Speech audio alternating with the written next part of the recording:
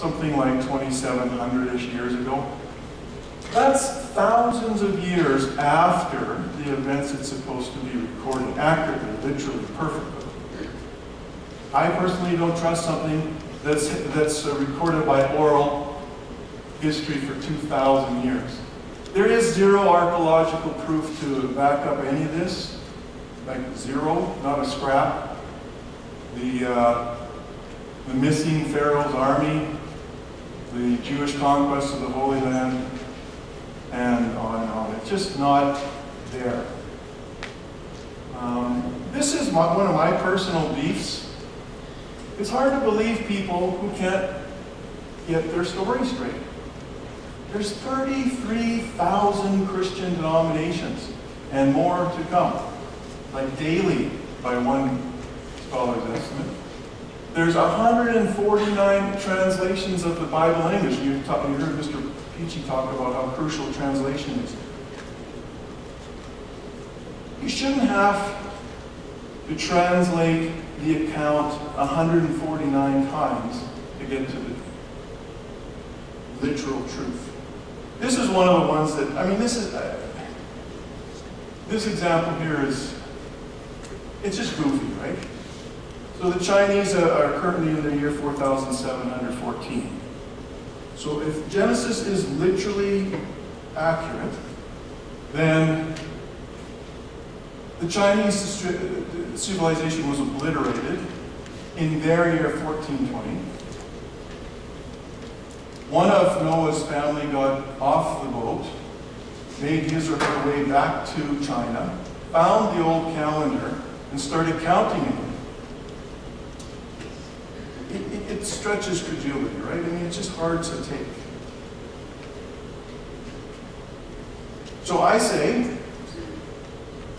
this is the question. How can anyone believe this? Well, I think, as Mr. Peachey said several times, it's by faith. Who do you have faith in? What do you have faith in? And by the way, these have zero faith in science. I hope I can explain that later this evening.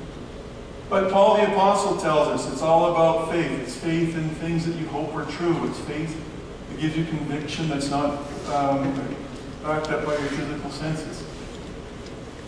Faith in things that you hope are true.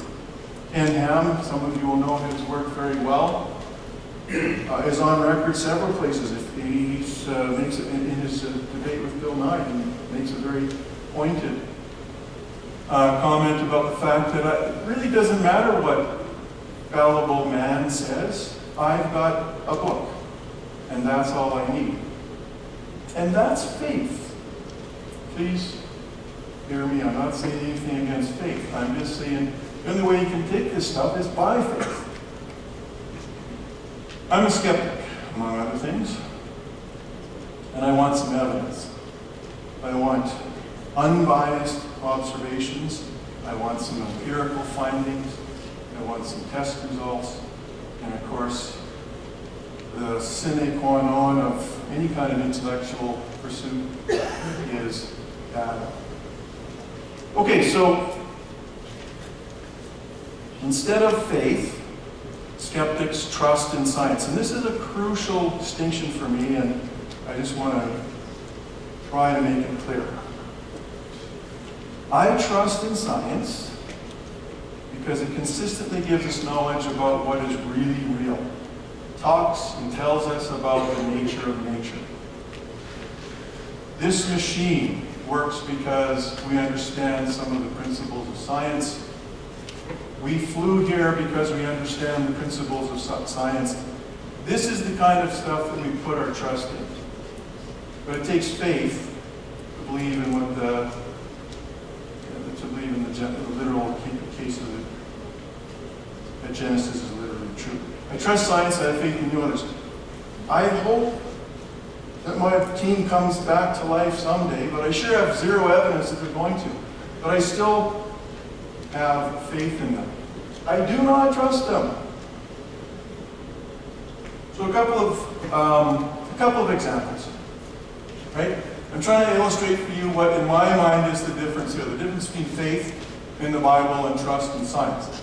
So the Bible, the Genesis, written by an anonymous reporter who wasn't there, gives us literally, his, uh, literally true historical facts, such as uh, there was a day and there was a night on day two. Day two, God created day and night, but God didn't make the sun until day four. That has to be taken by.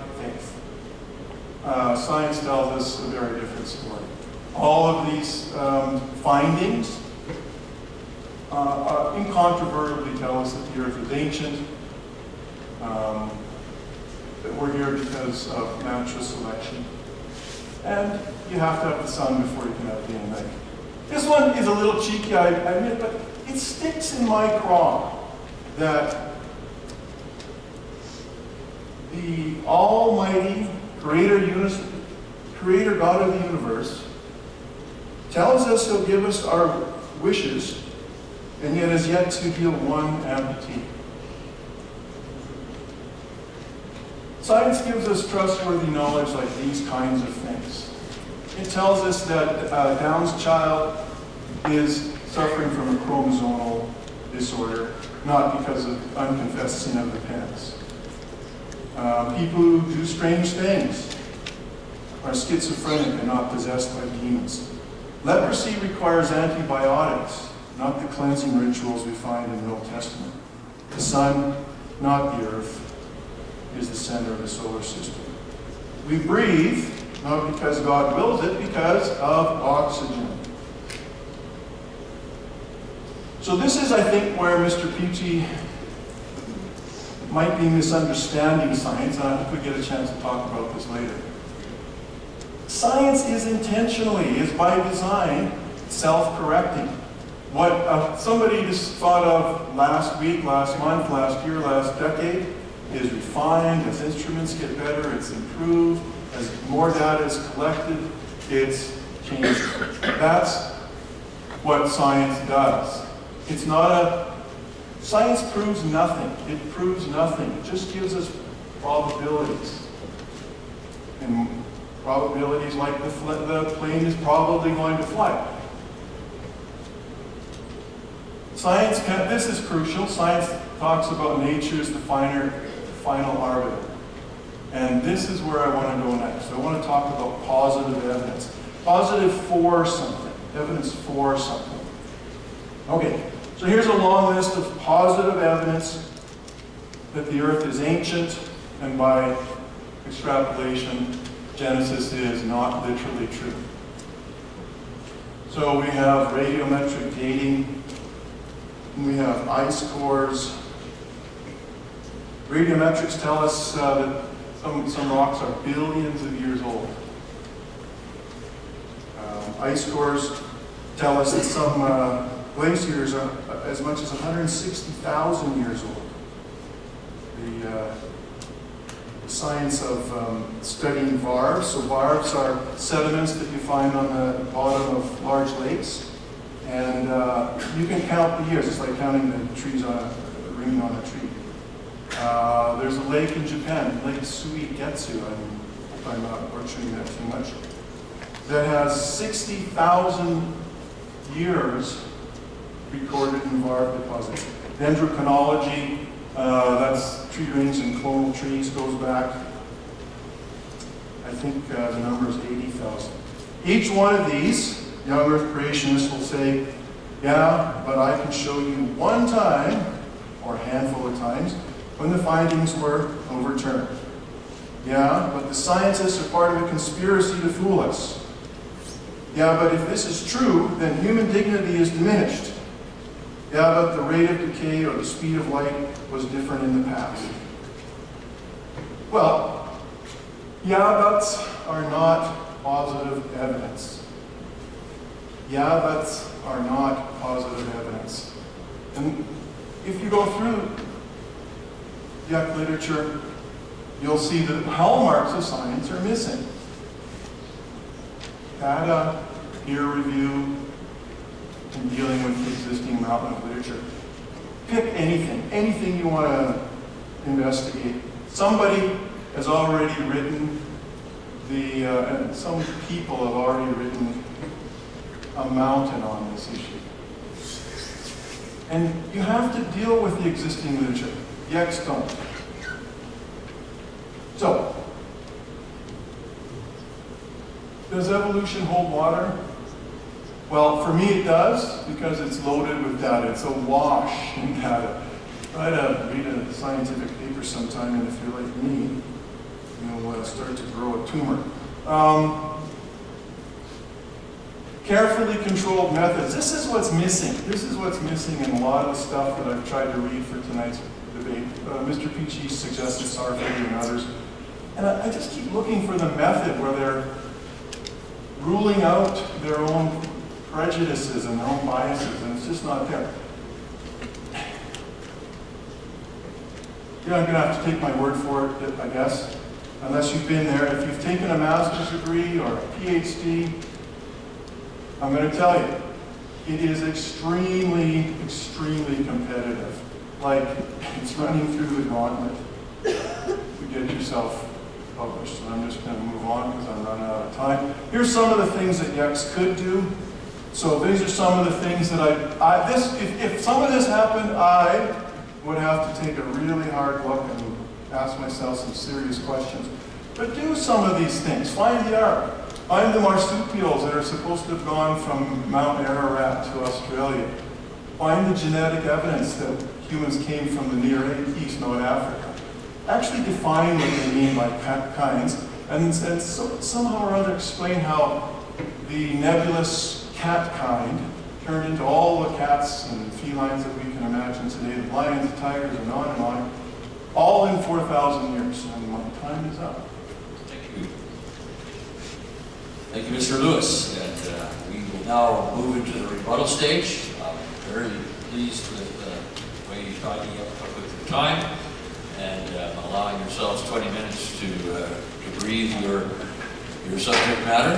At this point, we want to encourage you again to write the questions, which will be collected in about 10 minutes, and allow Mr. Lewis to get set for his rebuttal. You have five minutes. Yeah, back to A. You're up first. Ready? Go.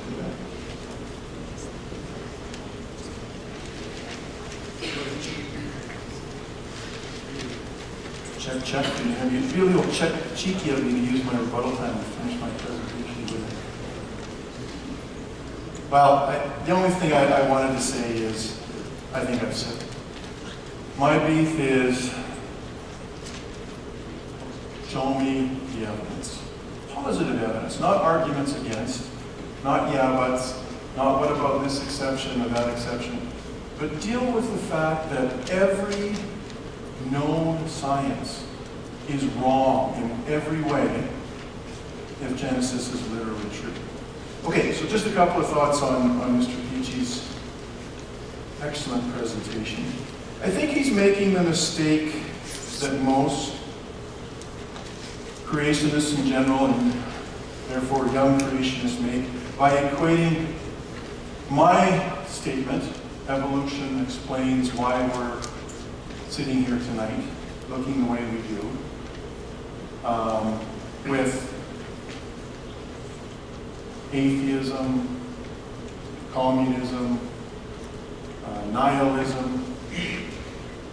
What Mr. Peachey does is say, I don't like the results of, of science. I don't like that it seems to diminish human dignity which isn't true, by the way, and that's a whole different discussion. Hopefully that'll happen another night. But it's, it's comparing apples and oranges. I'm saying I got a mountain of evidence to show you that this is the case, and Mr. Peachey is saying, in effect, yeah, but it means that we tell kids things like they're here because of a uh, kind of a in because of God, sorry, I'm struggling, because God, God wasn't involved and that's just it. And, and that's not the case. That's not what we're trying to say. Um, the other thing that struck, struck me as Mr. Peachey's um, presentation was his argument that the Genesis is literally true because the Bible says it is. If you took that same kind of logic and applied it to the Quran, I'm going to tell you, the Quran says it's true. And Buddhist writings and Hindu writings say they're true. There's, there's no convincing corroborating evidence in the statement, Genesis is literally true because Jesus said it was. Maybe I'll just close pointing out there's a big difference between science popularizers and science, scientific findings. So Dawkins is a brilliant science popularizer. But if he changes his mind or if he misstates in some way, that says nothing against the bedrock findings of any number of scientific study. Right? So it, again, it's a, it's, a, it's a mismatch of, of mutually exclusive claims. And I think that's it. You're up.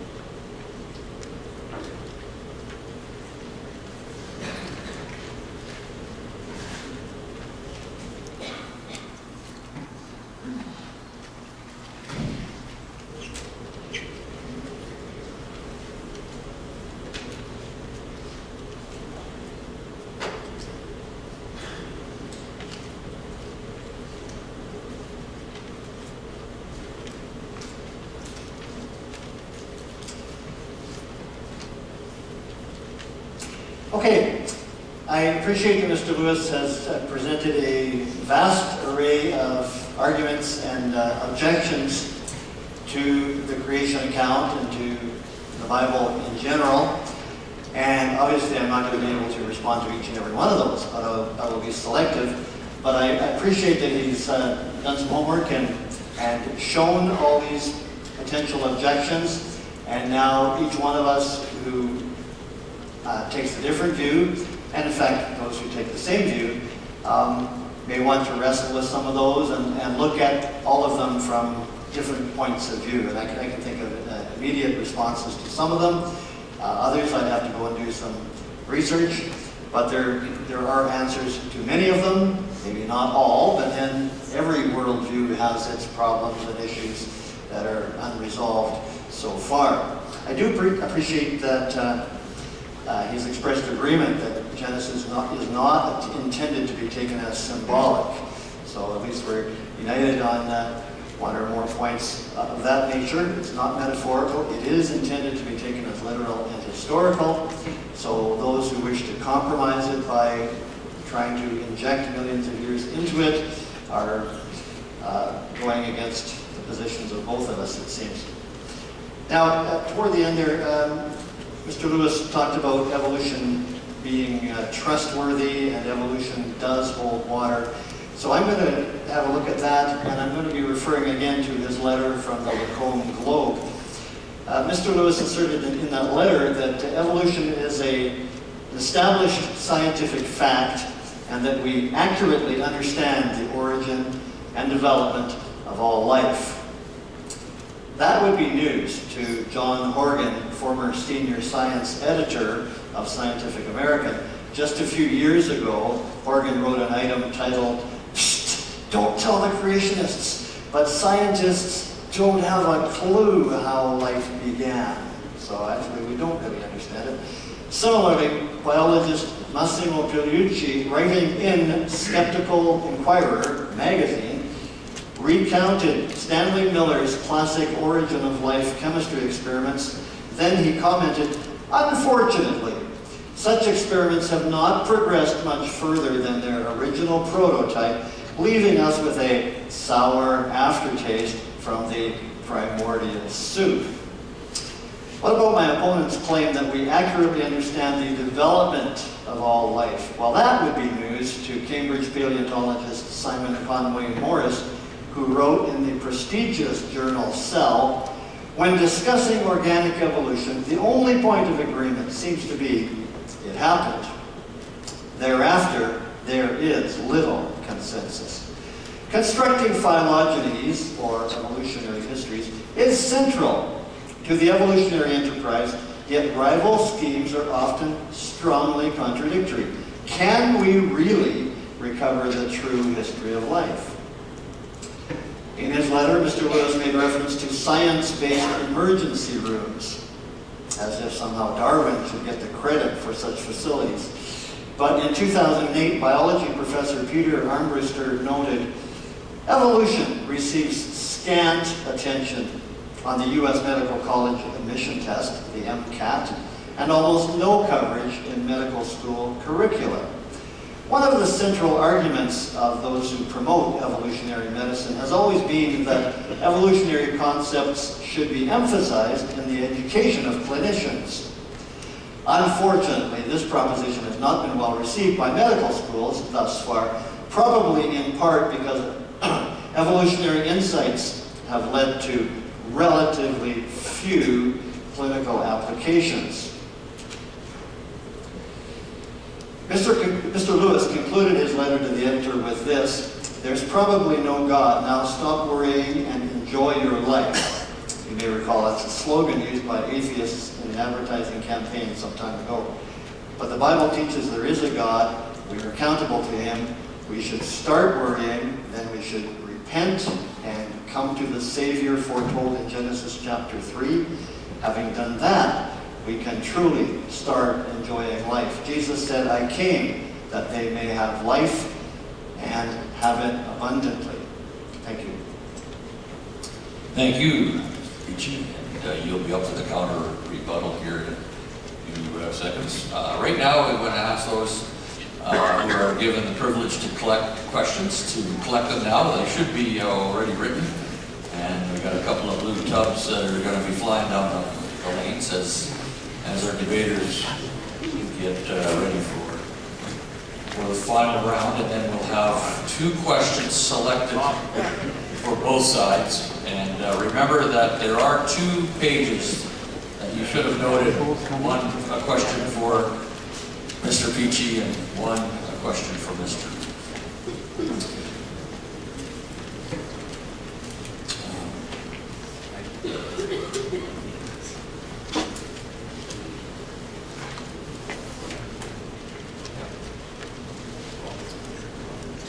I appreciate a healthy debate and uh, also appreciate that you guys are appreciating each other. So as we continue, ask Mr. Peachey to come forward for the counter rebuttal.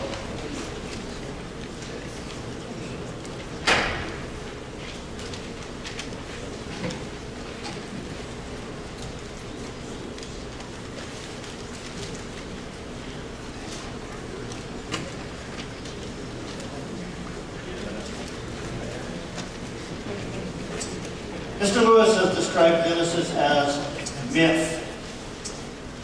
I want to think about the myth and the absurdity inherent in the secular evolutionist worldview. First of all, one has to accept that something magically appears from nothing all by itself. For no good reason, a tiny patch in space arises with a size about 10 to the power of negative 26 meters, that's 100 billion times smaller than a proton.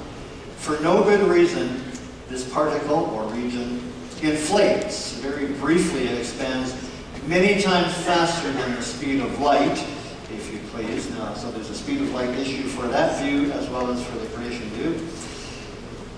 For no good reason, that inflationary period ends and the expansion then continues at a slower rate. What makes all of this happen? Well, they say it's caused by a particle named the inflaton. No such particle has been described that would be compatible with the known laws of physics. In fact, the Big Bang is called a singularity because it is inexplicable by known laws of physics. In the Bible, there are events sometimes that occur that cannot be explained by known laws of physics. So what do we call those? Miracles. Right. But there's more. The Big Bang supposedly forms particles of both matter and antimatter, and these entities are should be in exact balance because they start from nothing. But no, the claim is that somehow there was this slight excess of matter over antimatter, so that when all the particles finish annihilating each other, what we're left with is just some regular matter, from which the whole present universe has been formed. To quote Nobel laureate Steven Weinberg, it is this early excess of matter over antimatter, estimated as one part in 10 billion, that survived, which determined the future development of the universe. In other words, if you accept the current secular origin story, the Big Bang, you must believe that a tiny point in primordial space-time contained not just one universe, but enough potential for 10 billion universes. Indeed, many secular cosmologists and physicists are now seriously suggesting that such an event could have occurred not just once, but repeatedly, up to 10 to the power of 500 times. And of course, this proposed multiverse is currently unobserved and will probably be forever unobservable, but never mind, keep the faith. The next thing, if you accept atheistic, naturalistic thinking, is you have to agree that life can magically appear from non-life. So, for no good reason, biomonomers, such as amino acids, nucleotides, and sugars, join themselves together into long, exclusive polymers, very much contrary to their natural inclination. And for no good reason, these long polymers turn out to be homochiral. The randomly assembled proteins contain nothing but left-handed amino acids. And the chaotically formed nucleic acids have only right-handed sugars. And then for no good reason, those unlikely polymers eventually collect themselves together into even more unlikely self-replicating entities. So somehow, a series of random chemical accidents is able to accomplish far beyond what any well-staffed, well-funded 21st century laboratory can deliberately make happen with all their purified reactants and idealized reaction conditions.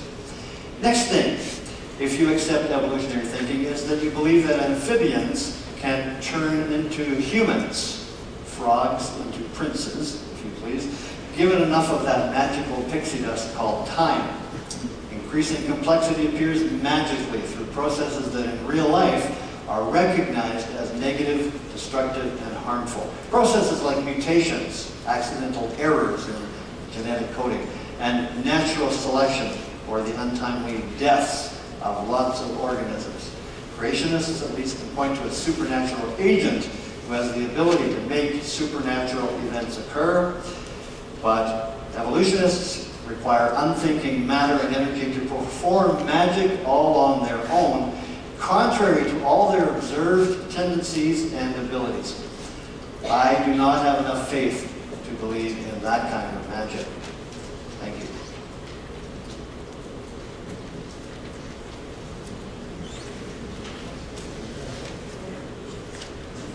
It would be nice to have them.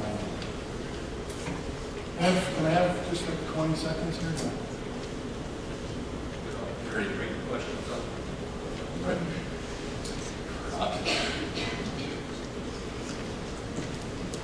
The last two.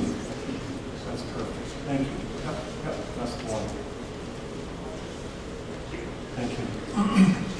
So, um, I'll just finish with uh, my last two slides because they, they do actually address some of the things that Mr. Peachey has, has said tonight, um, by way of rebuttal. So, I, first off, I want to thank him for, he's absolutely right. I should not have said or written then, and I certainly don't now, want to say anything about the origin of life or the universe. I don't know, no one knows, and I thank him for teaching me to be more precise, and I hope to learn my lesson from that.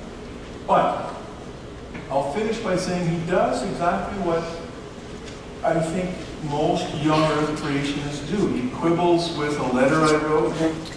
He talks about problems that he might find in the yeah-buts of science, but he offers no positive evidence for his position. So I'm just going to finish off by, by saying, tonight's debate is not really about whether evolution or Genesis, the Genesis story is literally true. The evidence is in, and evolution is an established scientific fact. The real issue is whether young Earth creationists like what they think are the ramifications of evolution. This is a very different conversation. Your tires may save your life when driving on ice because they're designed to increase traction using the scientifically studied and established law of friction. Friction is real, friction happens. When your tires lose traction, it is because there's not enough friction. The outcome has nothing to do with whether you like it or not. Similarly, evolution is real. Evolution happens regardless of whether or not young Earth creationists like it. Oops, wrong way. What am I doing here? Okay. My closing thought would be this. Modern life is challenging and confusing. I don't think anybody in this room is going to disagree with me on that. Speed of change in the 21st century is dizzying. Key to our shared future is preparing our children to think clearly, rationally, accurately. They must learn how to be critical consumers of information. They must have a steadfast commitment to what is really real. Teaching our kids that the book of Genesis is literally true does nothing to give our kids these skills. In fact, it promotes a parochial us versus them mentality that encourages a life built on faith over reason. In summation, I submit that Genesis is not really literally true and that it is wrong to teach kids something that is not true. Thank you, Mr. Peachey. Thank you, ladies and gentlemen, for the questions.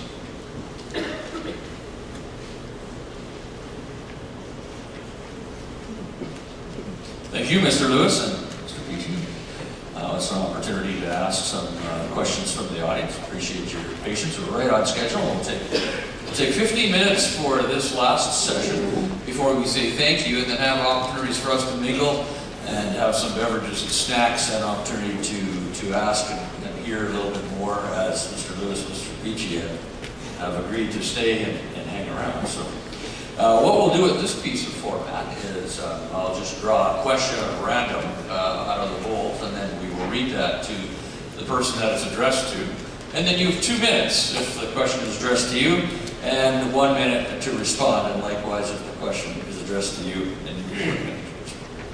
So just, uh, and we'll have two for each of you. So this bowl says one question for uh, Scott Lewis. Uh, Mr. Lewis. Um, two minutes to answer this. You say you trust in science, you trust in science, then say science doesn't prove anything. It is only probabilities.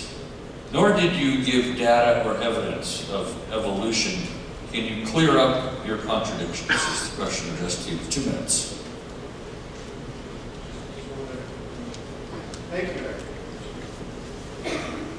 Thank you. Excellent question. Yes. Um, yeah, and, and th this question goes right to the heart of the matter, so thank you to whomever wrote it. I, and I didn't probably do a very good job of what I will distinguish between trust and faith. Trust in the scientific findings, not in science, in scientific findings, is the kind of trust uh, I talked about in that earlier, letter. If, if your loved one is hit by a car, I hope the first thing you do is rush to the ER. Go ahead and pray on the way. But I think everyone in this room knows that prayer is not enough. Think everyone in this room would agree with me that the science behind modern medicine, the science behind the well-established findings is trustworthy. And so I think what the confusion I may have engendered is that um, the long list of positive evidence that I gave to you is what I offer in, in trusting. Um, and I have no faith in faith. Thank you very much. Just leave the mic on, please. And uh, one minute to, uh, to counter.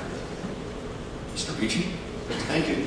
Okay, in- in terms of uh, different sorts of science, I just want to comment on uh, the link that Mr. Lewis drew between friction and then evolution. These are two different types of, I'm not going to object to them both being called science because what is and what isn't science, that demarcation line is very hard to find. But there are two different kinds of science. To study friction in the laboratory, it's a branch of physics called tribology, as in tribulation. That's the study of physics. You can measure it, you can do experiments on it in the laboratory, out all kinds of things, and they uh, look the same in experiment after experiment. Evolution is not like that. Evolution is a lot of hypothesizing that gets revised with one new discovery. It gets changed because some maverick scientist says, I, I don't agree with that, I want to make a name for myself. I'll come up with a different theory, and all the theories hold about the same amount of water, which is not necessarily a lot. It's uh, historical reconstructions based on a long chain of inferences and assumptions, many of them often questionable, not just questionable by creationists, questionable by each other within the uh, evolutionary field. Thank you. Thank you, Mr. Pitcher. And as we have ordered our program, then we will have, uh, you get, you get two minutes there.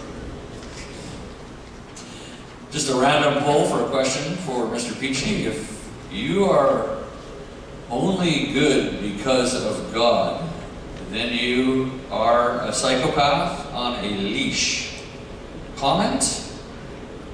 And then underneath it says, who was Cain's wife and where did she come from? So they snuck in two questions. I don't know if that means we give you four minutes, but we're going to stick with the two, then you have one Let me be very blunt. Cain's wife would have been a sister or possibly a niece. Now, that sounds like incest when we think of that today, but in the early days, if Adam and Eve were the first parents, there would have been no other possibility, and the genetic uh, erosion or entropy had not taken place at that early time, so the, the genetic problems encountered by such uh, questionable marriages today would not be there. But that's, that's the straightforward answer. If you're only good because of God, then you're a psychopath. Well, uh, I often think that maybe I would be a sociopath or something On, like on a that. leash. On a leash. On a leash. On a leash. Yeah. Well, yeah, I, I know that I, I am a sinner. I do need restraint. The Holy Spirit restrains me. And God holds me back, and all of us back, I would suggest, from a lot of evil things that we might accomplish. I mean, the people in Germany in the 1940s, were they different people from us, or were they just uh, people who the circumstances led in a certain direction, and maybe they should have resisted? Maybe we think we would have, maybe we wouldn't though. We're, we're all uh, beings who have this uh, questionable moral nature, which easily falls into uh, evil and is ready to harm others unless we restrain ourselves or have some other kind of leash on us. Um, if you're only good because of God, no, I wouldn't say that people are only doing good things because they are Christians. Uh, atheists, atheists often have fine uh, moral sensibilities, but they don't have a good ultimate reason for ethical behavior. Thank you, Mr. Peachey. Mr. Lewis, one minute.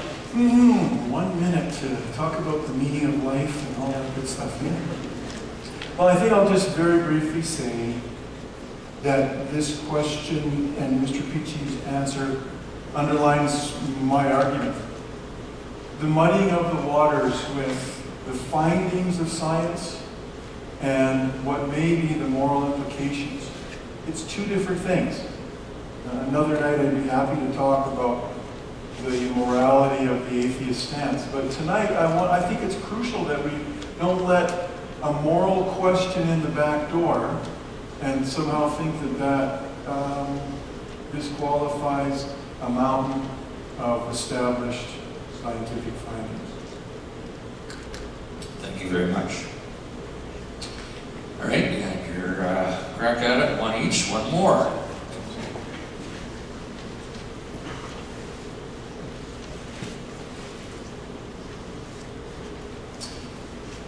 Do not answer, it says. Okay. Yeah. Okay, how do you explain all of laws of the universe spontaneously manifesting in the Big Bang? That's in quotes. So, how do you explain all the laws of the universe spontaneously manifesting in the Big Bang? Two minutes. I don't, I have no idea. I.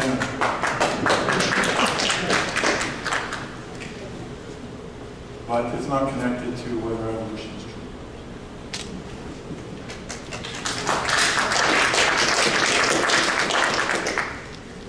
Just a couple of quick comments, then um, I would disagree. I would say it is connected with whether evolution is true because it's an evolutionary worldview starting with cosmic evolution and then chemical evolution or the origin of life and then biological evolution or the origin of the biodiversity that we have and then cultural evolution. It's all tied into one big evolutionary worldview. And the academics themselves use evolution, that word, for all of those things. But I'd like to agree with the last thing that we said before that, and that moral issues and issues of empirical science uh, do need to be distinguished. I think distinguished, so I agree with that. Thank you very much. And the last question for you, Mr. Bucci. Feel like a providential 50-50 draw. Give me one like the last one. Okay. Question for Mr. Peachey. Okay, so how can you possibly claim that the writing style of Genesis proves that it is, oh boy, Factually correct. okay, fine. there you go, thank you. Uh, most of Shakespeare's plays are written in prose, including uh, the tragedies and the comedies, although, although they're not true. Two minutes. I'm not an expert in Shakespeare. That question should go to you. Did he not write a lot of stuff in iambic pentameter? that's kind of a poetic form. Uh, in any case, just about Genesis, it's the writing style is indicative of prose rather than poetry. A lot of uh, people sometimes uh, try to use the argument that Genesis is poetry, therefore we don't have to take it seriously. So what I'm trying to do is dispose of that argument by showing you that there are significant prose markers within the text. So the writing style indicates that it's prose and that it's intended to be taken as history, and there are other arguments about that besides the style. It's the genealogies, etc., that I discussed before. It's intended to be taken as history. That's all that shows. Now, whether it really is true history is a separate case, and I tried to make that um, case on uh, using different arguments, including the authority of the Son of God, the Lord Jesus Christ, whose teaching, he said, is from God. One minute. Okay, um, okay. I think I'll just refer to an earlier slide where I was talking about 141 English Bibles and 33,000 denominations and so on. Um, what language did God speak to the anonymous reporter of Genesis? I don't know. I, I don't think anyone knows. We do know that Genesis and the Bible was written in Aramaic, was written in Hebrew, and you need to know some Latin, a lot of Latin, a lot of Greek. Trying to read Shakespeare now is difficult. It's a challenge to understand Shakespeare in 2018. Trying to understand whatever the ancient languages were is a little bit like trying to understand Old English. It's incomprehensible except to the expert. And I just doubt that God communicated in such a roundabout way. Thank you very much, uh, Mr. Lewis. So those are two questions that wrap up, and I know there's uh, quite a few more in there, we are going to end the evening on that note as far as our presenters go. I want to close uh, by inviting you for some snacks and uh, coffee and to engage more with Mr. PG Willington and uh, Mr. Lewis. I, I want to first just take a second to say this is a great showing, a great crowd from both sides tonight. And I want to really appreciate the, the way we've honored them tonight with uh, your presence. But more so, I understand too that since uh, there's, there's people on, on both ends, there's, there's emotions right here. And uh, I'm just thankful that uh, we could uh, be here together and, uh, and be in each other's presence, even though those emotions are very real to us, regardless of who you are. So I want to say that in a way of saying thank you to all you who, who Mr. Peachey and Mr. uh, Lewis came here for. It's, it's for you. I would also like to say uh, thank you to Mr. Lewis and Mr. Peachey and, um, and say this, that as a guy who speaks in public in various ways, uh, that uh, uh, vulnerability is, is at stake. And we often know that whenever we've had an opportunity to public speak, uh, we sometimes deny it because we fear of criticism and so on. And so for them to be here today is a, a pure joy and a gift for us to, to see and hear that they make themselves available. So as we close up, we just stand up and just give them a round of applause.